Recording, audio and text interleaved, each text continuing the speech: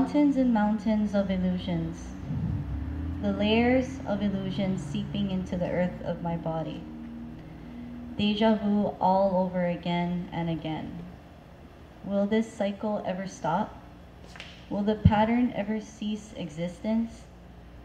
Wallowing in the false world that was created in front of me, the false world that was manifested from a grown man, that appeared as a little lost boy. A little boy that was frightened to put his feet on the ground, afraid to call himself a human being.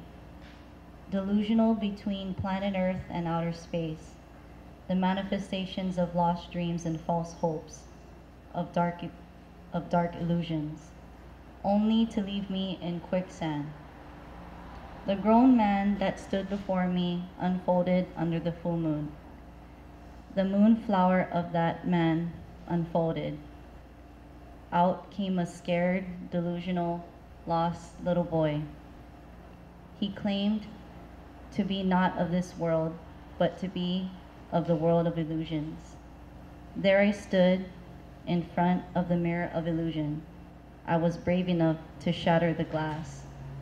I walked through the mirror, only to finally find my way back to earth, my way back to the truth. The truth shall set you free. For me, the truth is love. It was true love all along within me. Now I am free, like my birds, transformed by butterflies, finally free from the little lost boy of illusions. Here I am, feet planted deep into the earth's core, to the core of my heart, where all my truth resides where my forever is. Thank you, little boy, for helping me find my way home.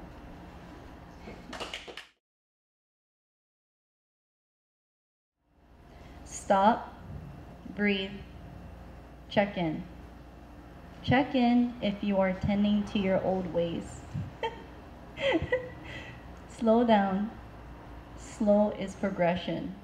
Slow is the new way of being. Slow is the future. Slow is healthy detachment. Slow is easy. Slow is flow. Slow is the sun rising, sun setting. Slow is the moon in full, moon in new. And now, there you are. Here you are. Breathe and pray. There, you feel God and that's all you need is God. And now you're free like a bird. Be here now with you, with God, and with your heart, your true love, and your prayers. Pause.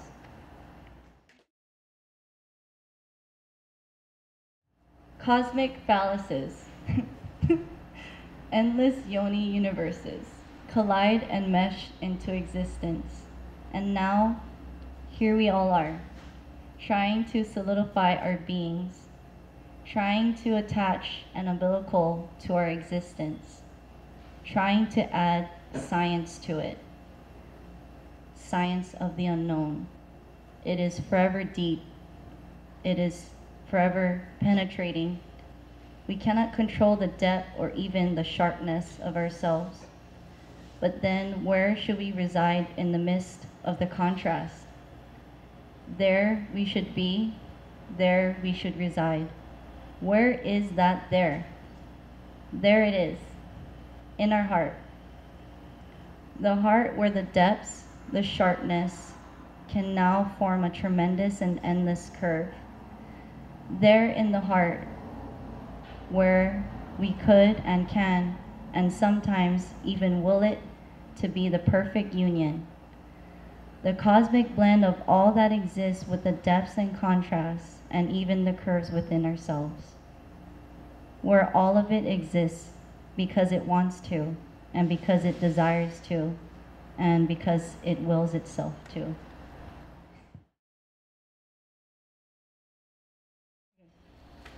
The dance of the ego and heart is of a timeless ballroom dance. Ecstatic sensual, erotic, intertwined, never ending dance.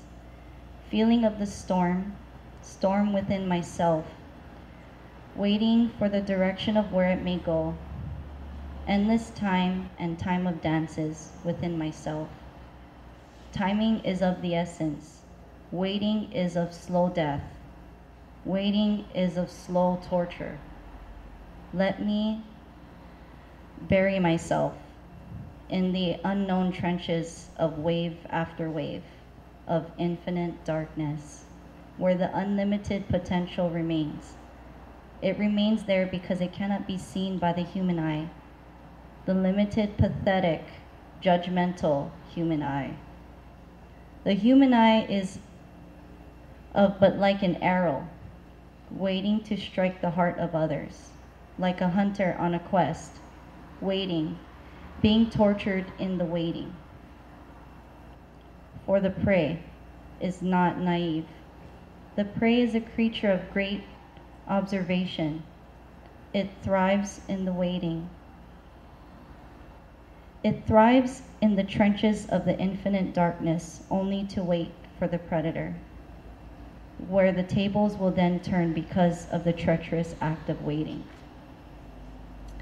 There lies the unlimited potential. The unlimited potential, the prey, they are one. They patiently wait for the predator, for the predator to join the essence of waiting in the trenches. There they can dance amongst themselves within the waiting. There in the trenches, the unlimited potential, the prey, and the predator realize they are no different from one another. They realized that they all were birthed from the dark, deep trenches of waiting.